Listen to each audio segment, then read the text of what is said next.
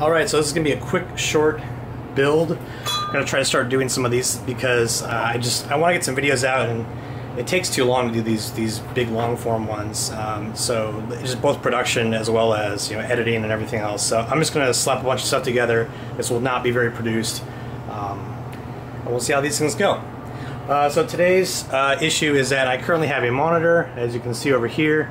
Um, unfortunately, while I am welding with my welding helmet here, uh, my monitor actually runs on CCFL tubes uh, for backlight, which is cold cathode fluorescent. Uh, because of that, it emits a little bit of UV light, and due to that, the um, the helmet detects that as being UV light coming off of an arc and it triggers. So unfortunately, my auto dimming helmet is always dim when my monitor is on. Um, and it's really frustrating to turn my monitor on and off constantly as I'm trying to weld because I want to look something up or change track or do something on my screen. Uh, and so I've decided that I'm going to swap it out for something a little different. It's also very old. Uh, it pulls a ton of power. It's like 135 watts. Off topic.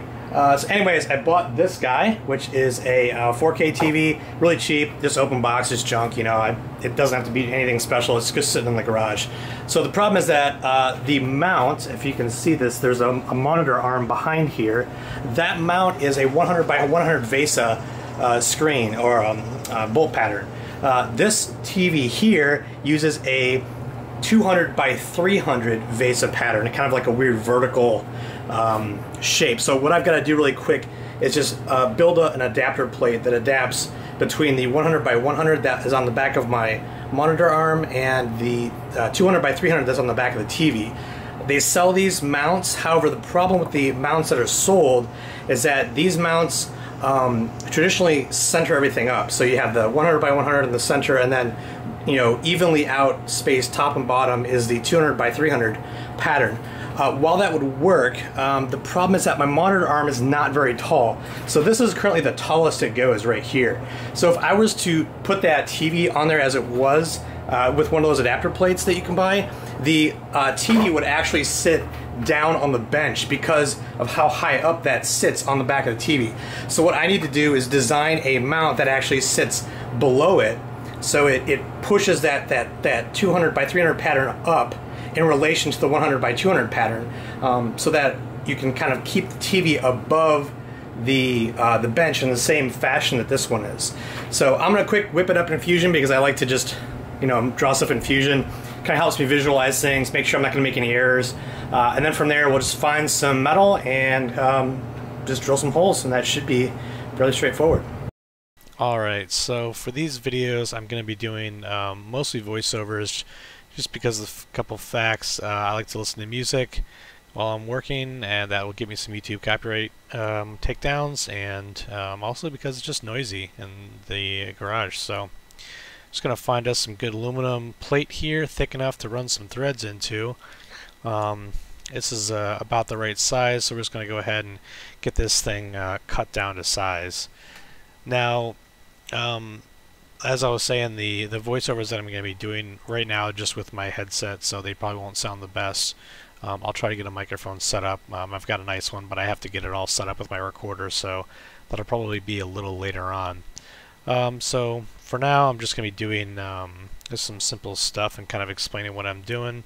Um, and, you know, I'll pop in audio where I need to, but um, we're just going to go ahead and cut this down. Now this is too big to fit under my bandsaw, so I'm going to go ahead and use my jigsaw with a metal blade in it. Um, just got a little cordless jigsaw, um, and I'm going to jankily hold on to this thing. Unfortunately, I didn't get any uh, video of this, so you just get to see me dragging the jigsaw along the side.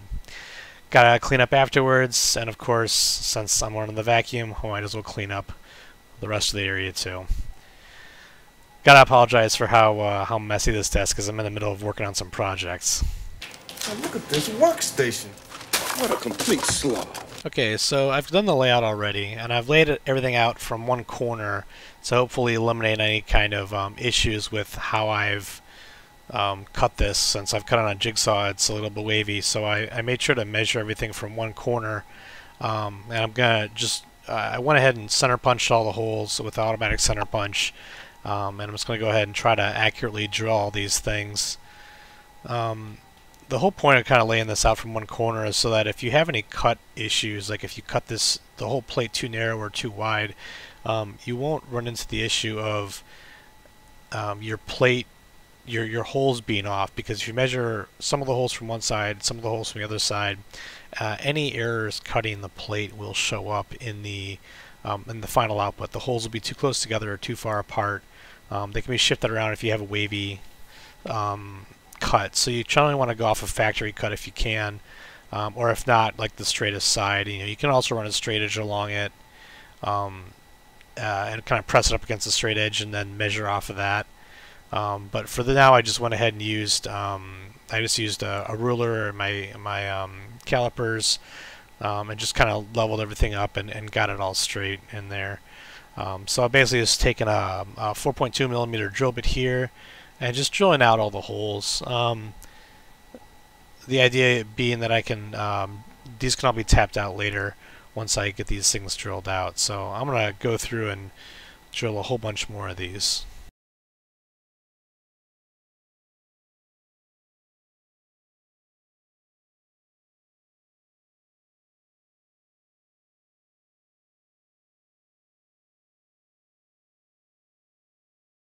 It's about here that I realize that something's not right. So I'm going to have to try a different approach. So as you can see, I've decided that uh, these holes were not aligned right. The holes that I was drilling, um, the, the drill bit both walked and also started kind of drilling off center, and I had some um, oblong holes. Um, I decided, listen, I've got this machine, I might as well use it. So what I'm doing here is I've got this plate turned around um, and I'm going to go ahead and get it all bolted up on the CNC and we're just going to use it as a glorified very accurate drill press and that's probably one of the best um, one of the cool things you can do with a, a CNC like this um, is to throw a fixture you know a simple fixture setup on it um, and throw a drill bit in there and you can drill super accurate patterns because you can just type in the um, the hole locations once you measure off of a corner. Um, so what I'm going to be doing here is just kind of snugging these guys up, and I've got to go through and and do a quick um, measure on the front of that. Um, so you can see me trying to figure out where am I going to attach this since I normally put it where my coolness now is located. Um, so the the plan here is to to use this uh, test indicator just to get the front edge of this um, this machined edge. This is the, the cut edge from the factory. So I'm going to get that dialed in here within a couple thou. Um, and that will allow me to uh, make sure that as I when I probe this and as I cut it that it's going to actually align correctly with the x-axis um, and the y-axis so that my uh, my square pattern that I, I, I cut or I sorry I drill is actually in line with the um, the edges of this. So mostly for aesthetic reasons, since this is a pretty um, generous extra amount of material on here. Um, I think I've got 25 millimeters on either side of the um, the the plates. So these are just as this is honestly just for perfection's sake because I I like to be precise.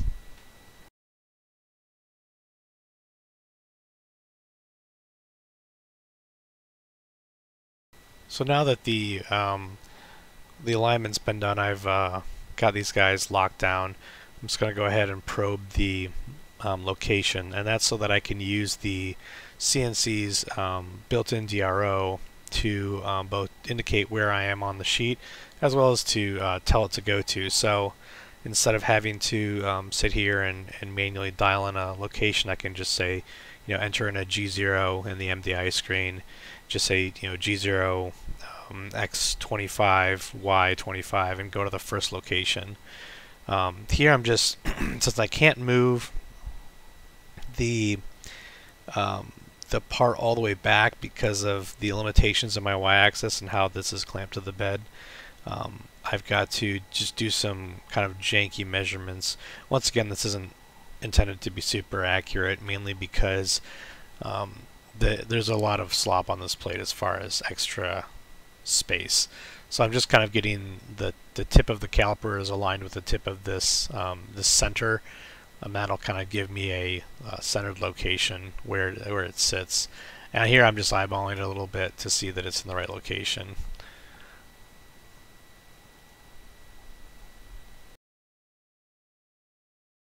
I'm basically going to go through and um, and drop this down to the surface here.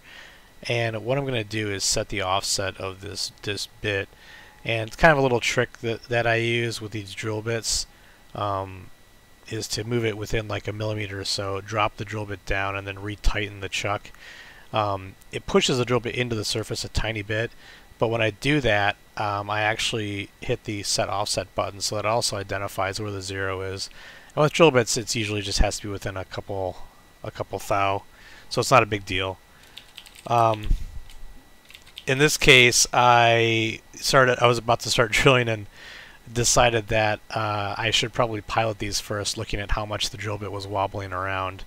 These aren't exactly you know super accurate. The, these plain old jobber bits, so I'm just swapping in a um, 120 degree uh, quarter inch um, stub um, spot drill. So this is really stiff and it will allow me to do just a light um, center area here that will help out. Probably drill these a little too deep, but no big deal. Um, there's still plenty of material for the threads to grip onto in this. Um, this I think this is like eighth inch or uh, three millimeter thick aluminum. And while I'm doing this, I decide why not, you know, let's let's go ahead and spot drill everything since I have the spot drill in here. Um, and that'll make things a little easier later on when I have to actually go through and uh, drill these these out. I don't have to swap tools again. So for each one of these, what I'm doing is um, walking over to my Fusion um, setup, and I'm using the measure function uh, to measure off of one uh, one side of this. Since I've probed the um, this front edge and this side edge, all my measurements are based on those two locations, um, and then those um, distances can be entered directly into um, um, the DRO or the the G0 commands on the um, in PathPilot, so that this can be easily just driven to exactly the right spot. Um, so I'm just doing some simple verifications. You know, this looks right, you know, visually, and then just doing a, a gentle little um, little spot to get the drill started, so it doesn't walk all over the place and uh, wallow out the hole. That's mainly the thing that happens um, if you have a, a, drill bit that's kind of wobbly in a CNC. It, it's, it's held rigidly um, in the X and Y, but if the tip wobbles, it can start to um, can start to wallow out the hole a little bit, which isn't exactly what you're looking for. Hoping with my new camera I can get some better camera angles too. This uh, this is a little frustrating here because my camera has to sit off to the side. I don't have very much zoom on it. So unfortunately there are several spots in which this does not work out very well for me. And as you can see it's of course out of focus and it refuses to focus on the center subject. Thank you camera.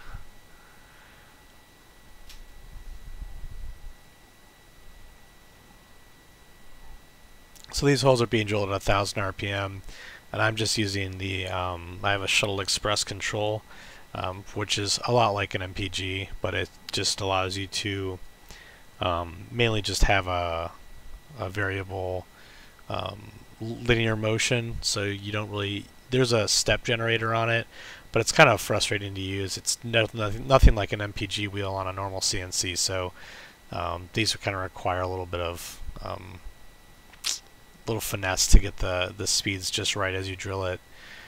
Um, and one of the reasons I probed this was so that I could validate that I was going down far enough. Since when you're drilling aluminum into aluminum, the metals are very similar in color, and then the you can't really tell by looking on the hole that you're there.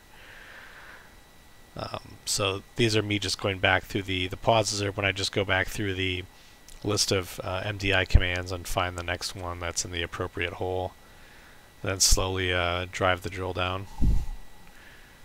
Alright, so we've got the four tapped holes drilled, and now we're going to move on to the 6mm holes. Um, these are 6mm because the TV uses M6 screws, so we're just going to drill um, M6 holes, and if you work with metric hardware, you know that metric hardware is about um, 0.2 millimeters undersize. Um, it can be anywhere from 0.2 to like 0.1 millimeters undersize. Um, so these metric drills are usually about 0.1 millimeters oversized. So between those two um, that those tolerances, you'll, you'll you get a decent amount of clearance, um, which is easily used to um, to make sure that you can get the the bolts to slide through without catching. And in this case, we're threading into the back of the TV, so these will need to be um, uh, holes in which the bolts can slide through. And I have a couple flanged bolts for use on this. Um, funnily enough, these were bolts I bought for use on my car, but it turns out that they're the only M6 bolts that I had that were um, the proper size to, or the proper depth here to fit the the TV's kind of shallow um, riv nuts that they have inside. Just going to do a quick uh, deburr on the backs of these with this excellent Noga tool.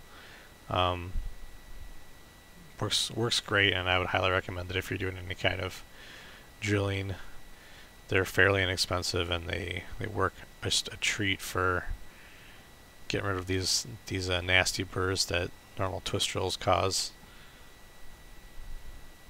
Even some light chamfering. He'll notice I accidentally chamfered the uh, mistake holes too, but no big deal. Got ourselves a plate. So now we have to go through and tap these holes.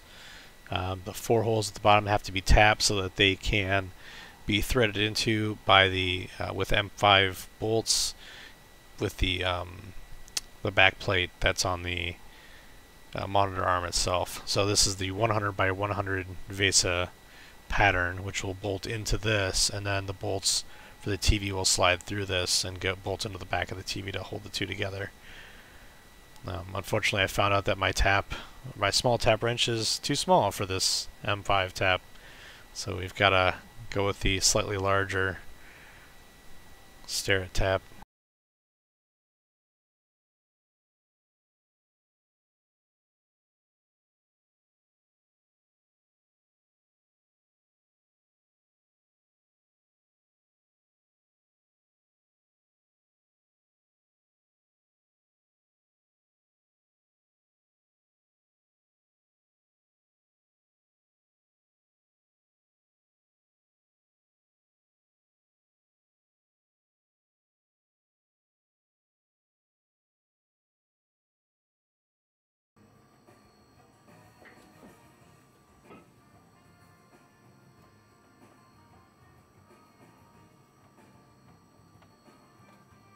And now I'm basically gonna try to remove my monitor off of this, this stand here.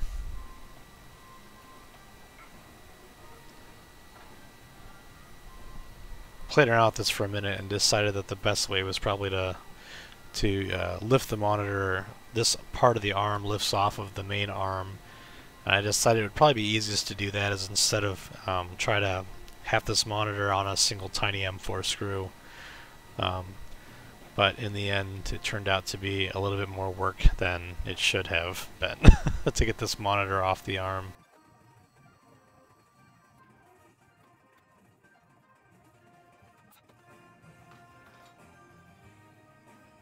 Before anyone gets upset about me setting the monitor face down, this is an ancient monitor, and it's I don't think anybody wants something like this anymore. It's probably destined for the trash eventually. Alright, so with that out of there, it's time to start setting up the new stuff. I found some uh, M5 screws that are just long enough, look like they're 6 millimeters.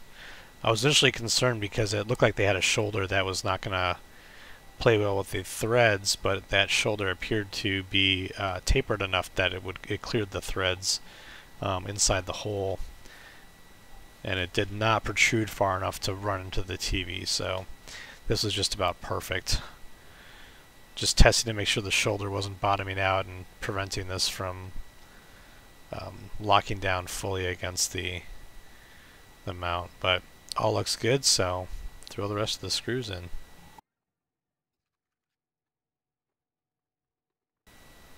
Looks solid so you can see how this will sit in the vertical position. This is going to be bolted to the TV like that. I'm just kind of throwing it on the arm to make sure that it sits right. Moves around. And obviously it's meant to have a monitor on it so it springs right back up. So now we just gotta fight the arm again because I didn't learn my lesson the first time and get this bolted down to the TV. So the M6 um, bolts that I'm going to be using are they're shiny and they're from Ace and they're very expensive. Probably way more than you should ever pay for a M6 hardware. I think they're 10.9 so um, completely unnecessary but that's what I have and so that's what I'm going to use. Now looking at the back of this TV I didn't really see any vents that I was going to be covering up. The heat flow seems to be up from the bottom where the speakers live um, and then up along the uh, this open protrusion on the back um, and there's a internal metal shield that seems to hold it up and then those vents at the top are where the, the heat comes out. And later on I actually found that the the plate seems to help out with heat dissipation. It actually pulls some heat off of the um, the plastic there and tends to dissipate it into the air. So it's it's actually gotten a bit of a heat sink um, through this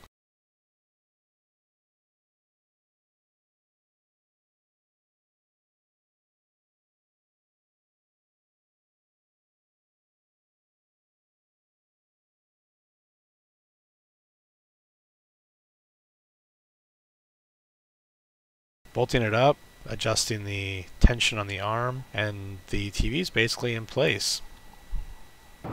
So does any of this work? Well, the mount that I created works great. The, uh, the TV is held up, sturdy, uh, it doesn't tip around. I've been able to tension the arm up enough that it will support it. This TV only weighs about, I want to say it was like 16 or 17 pounds. Uh, I think this arm people said online was good for about 30 pounds. So I haven't had any issues there. I just ran the tension up on the arm and I increased the tension on the spring for the tilt. Um, and that helped keep everything a little sturdier. I still have to figure out what's going on. I'm having some troubles with my computer connecting to this. Uh, it, I think it has to do with the version of Linux that I'm running on here, combined with the, how new this laptop is, this Gen 2 dock that I'm using, uh, and the HDMI connection to the screen.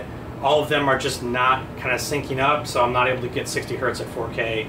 I can only get it to run at 30 hertz. So um, I need to play around with my laptop and everything to get it working, but I have gotten it to work at 60 hertz. It's just going through the dock is a bit of an ordeal for some reason. So I'm going to play around with that, uh, but as far as that goes, this project is finished. So uh, I can move on to now welding while my screen is on. Excellent. I'll see you all in the next one.